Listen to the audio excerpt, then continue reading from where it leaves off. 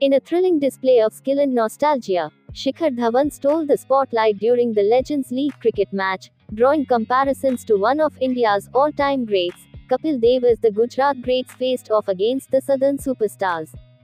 On the very last ball of the first over, Dhawan unleashed his own version of the famous Nataraj shot, sending the ball soaring over the boundary.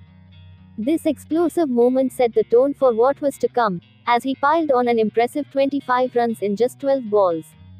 Continuing his onslaught, Dhawan reached his half century of just 37 deliveries. His blend of power and elegance was a sight to behold, reminding everyone of Kapil's glory days.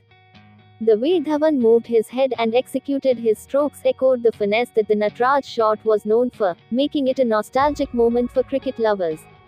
While Gujarat ultimately fell short in their chase, Dhawan's performance was nothing less than mesmerizing. He brought a spark to the game that had everyone on the edge of their seats. Earlier, the atmosphere was electric as fans eagerly awaited the return of a player whose legacy in Indian cricket is marked by memorable performances and an unyielding spirit.